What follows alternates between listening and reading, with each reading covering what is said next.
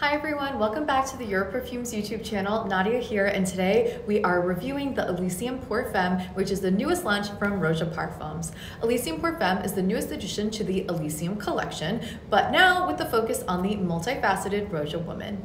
With a strong and independent spirit, our heroine forges her own path across a fantastical landscape. Awakened by her touch, the flowers bloom in their most beautiful and fragrant way, casting a kaleidoscope of color across the horizon. A sweet aroma is bestowed with an abundance of gifts from the natural world.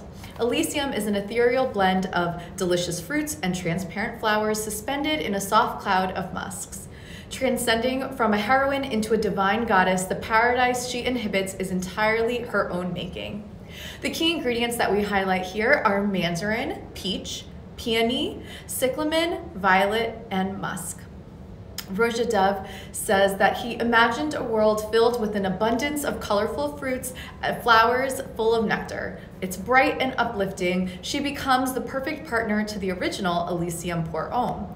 I also wanted this fragrance to have a presence, like an inner strength. So I brought some weight in so I brought in some weight with a soft, long-lasting blend of vanilla, sandalwood, and musk in the base to capture the spirit of the Elysium woman.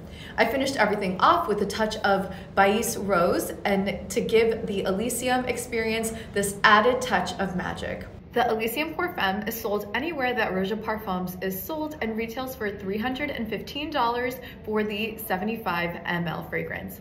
Thank you so much for tuning into this video. Be sure to like and subscribe to our YouTube channel for more content. See you later.